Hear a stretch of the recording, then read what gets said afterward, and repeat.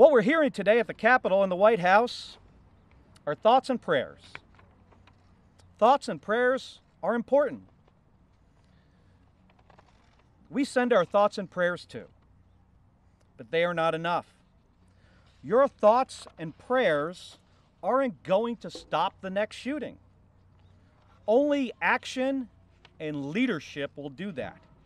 We, you, must demand leadership.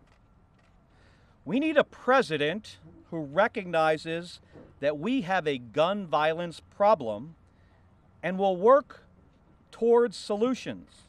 Americans need more than our president's prayers. We need his plans. Pass universal background checks to make sure everyone gets a background check before they obtain a gun. The studies are clear. Where these laws are passed, fewer people get shot. Where they have been repealed, murder and violence has increased. Subject the sale of the most lethal weapons to stronger oversight and regulation. You can buy an AR 15 in a parking lot with no background check at all. That's crazy.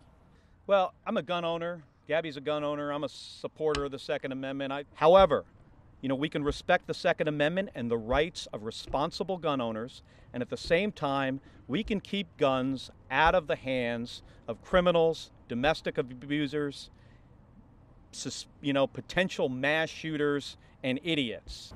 The nation's counting on you. Right. Thank you. Thank you, everybody.